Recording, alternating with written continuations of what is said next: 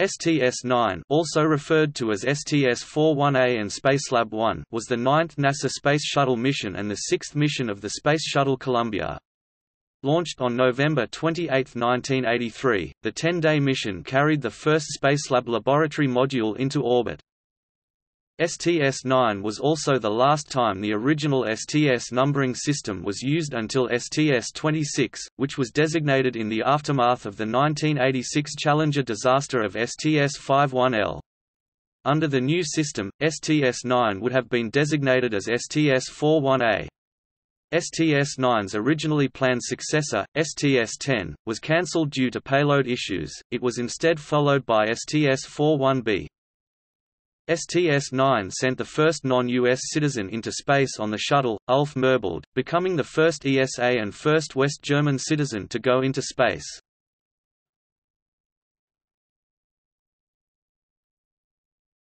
Topic: Crew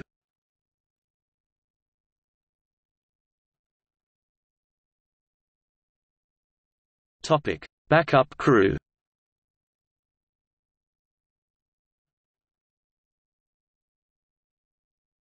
Topic: Support crew. John E. Blaha, entry Capcom. Franklin R. Chang Diaz. Mary L. Cleve. Anna L. Fisher. William F. Fisher. Guy S. Gardner, Ascent Capcom. Chuck Lewis, Marshall Capcom. Brian D. O'Connor. Wubbo Ockels Topic: Crew seating arrangements.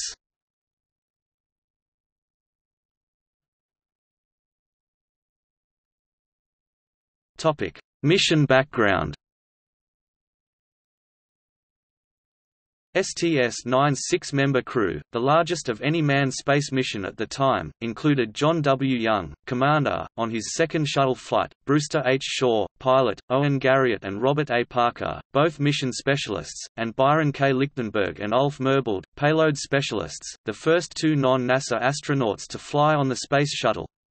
Merbold, a citizen of West Germany, was the first foreign citizen to participate in a shuttle flight.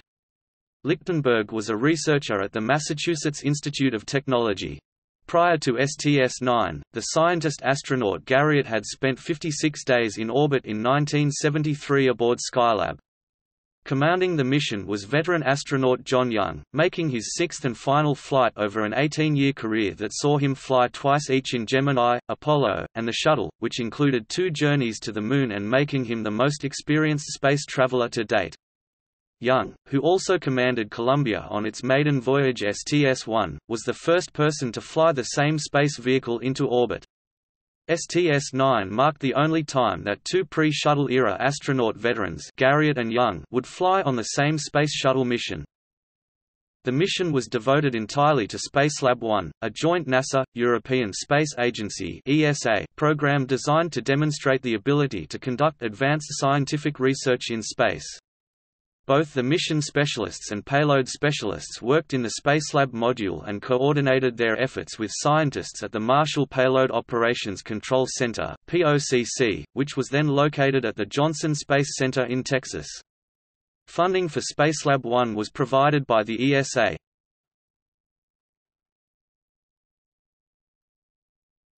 Topic: Shuttle processing. After Columbia's return from STS-5 in November 1982, it received several modifications and changes in preparation for STS-9. Most of these changes were intended to support the Spacelab module and crew, such as the addition of a tunnel connecting the Spacelab to the orbiter's airlock, and additional provisions for the mission's six crew members, such as a galley and sleeping bunks. Columbia also received the more powerful Space Shuttle main engines introduced with Challenger, which were rated for 104% maximum thrust. Its original main engines were later refurbished for use with Atlantis, which was still under construction at the time. Also added to the shuttle were higher capacity fuel cells and a Ku-band antenna for use with the Tracking and Data Relay Satellite (TDRS). The mission's original launch date of October 29, 1983 was scrubbed due to concerns with the exhaust nozzle on the right solid rocket booster (SRB). For the first time in the history of the shuttle program, the shuttle stack was rolled back to the Vehicle Assembly Building (VAB), where it was destacked and the orbiter returned to the orbiter processing facility, while the suspect booster underwent repairs. The shuttle was restacked and returned to the launch pad on November 8, 1983.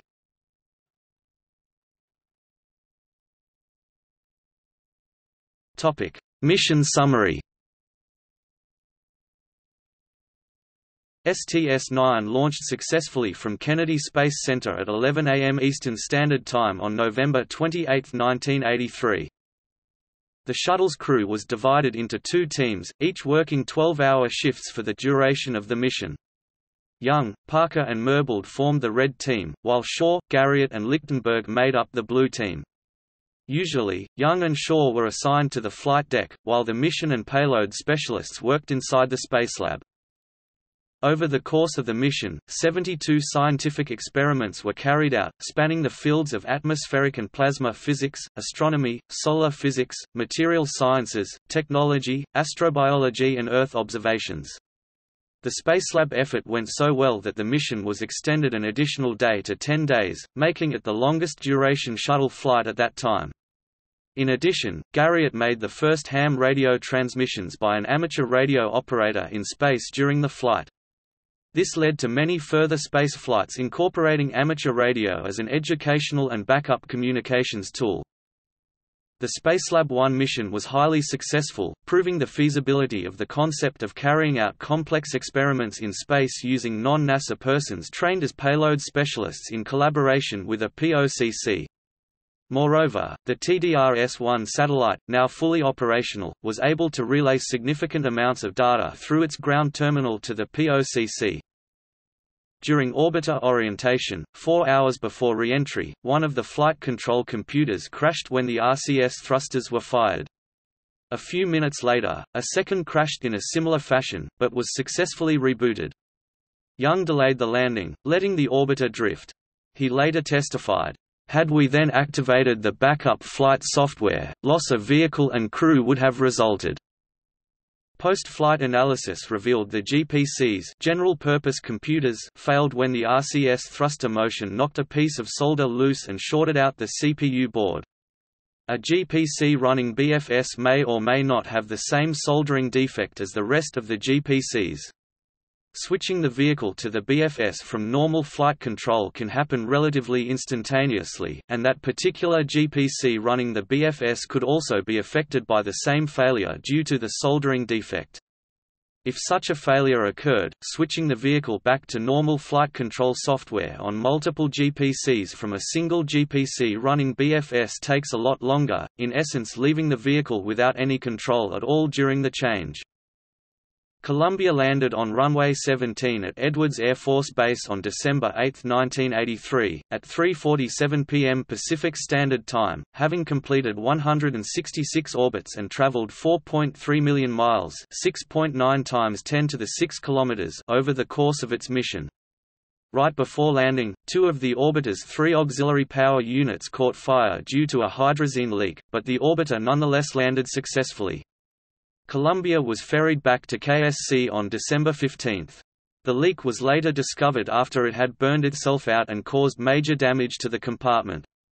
The shuttle was then sent off for an extensive renovation and upgrade program to bring it up to date with the newer Challenger orbiter as well as the upcoming Discovery and Atlantis. As a result, Columbia would not fly at all during 1984–85.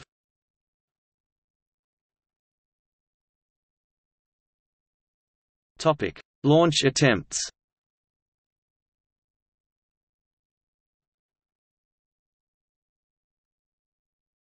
Topic: Mission insignia. The mission's main payload, Spacelab 1, is depicted in the payload bay of the Columbia. The nine stars and the path of the orbiter indicate the flight's numerical designation, STS-9.